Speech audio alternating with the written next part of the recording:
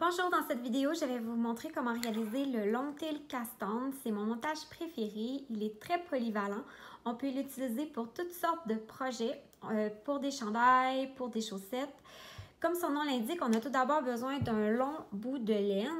Euh, de règle générale, je vous dirais, moi, pour des chaussettes, je me garde environ un mètre de laine. Euh, pour un chandail qui commence par le col, je je fais peut-être un mètre et demi juste pour être certaine de ne pas en manquer. Euh, vous êtes mieux d'y aller plus large, mettons prendre deux mètres euh, de fil euh, plutôt que d'en prendre pas assez. c'est un petit peu frustrant de voir recommencer notre montage si on manque de laine à la fin. Puis, il faut aussi penser qu'il faut qu'il nous laisse un petit peu plus de fil aussi pour pouvoir rentrer les fils à la toute fin.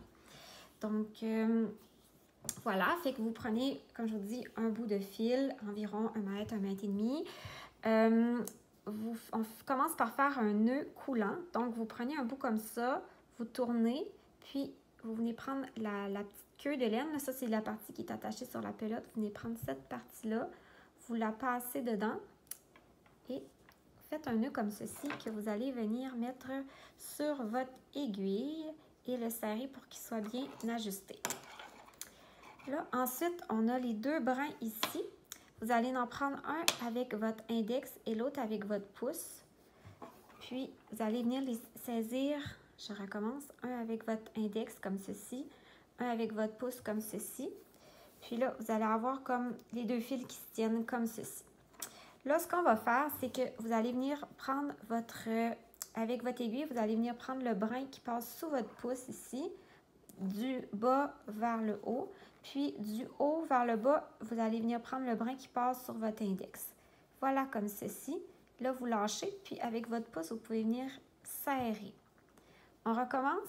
Donc, on, le brin qui est sur le pouce, on part du bas vers le haut. Le brin ici, du haut vers le bas. Comme ceci. Encore une fois. Donc, le brin sous le pouce du bas vers le haut le brin au niveau de l'index du haut vers le bas. On rentre ça dans la loupe ici et on serre.